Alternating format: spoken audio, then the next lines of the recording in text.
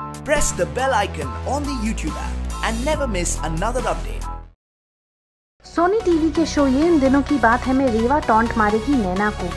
जी हाँ जैसा कि हमने आपको बताया था कि मुन्ना की शादी फिक्स हो गई है और इसी बात पे मुन्ना ने पार्टी दी है जहाँ सभी कॉलेज के दोस्त फिर से मिलते हैं। वहीं पार्टी में समीर और नैना की आपसी बातों में झगड़ा हो जाता है और फिर समीर नैना को इंसल्ट करते कि नैना मिडिल क्लास नेचर की है, चले जाते हैं। ये सब झगड़ा रेवा देख लेती है और फिर पार्टी में रेवा नैना के पास जाकर बोलती है कि अच्छा हुआ कि मुन्ना और उसकी अरेंज मैरिज है और जिससे उनके बीच में कम झगड़े होंगे।